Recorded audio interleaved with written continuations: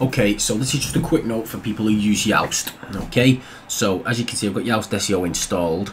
Now, this is the page title, as you'll know if you use Stinger, Auto Locksmith, location, county, region, country. And this is where we tell you to put your SEO uh, title. Now, all the rest of the information is, is fine. However, when you have Yoast installed, this will become your default title. So I'll show you what I mean. So view magic page.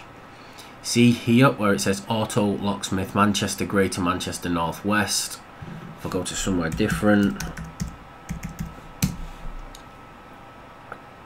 as you can see it says auto locksmith right and if you actually look inside I set the SEO meta title here to car locksmith and it's showing auto locksmith which is up here.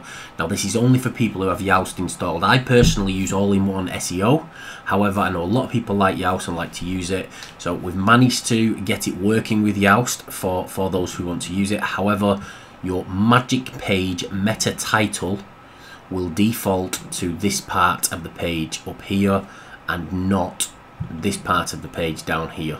Other than that, everything should work as normal.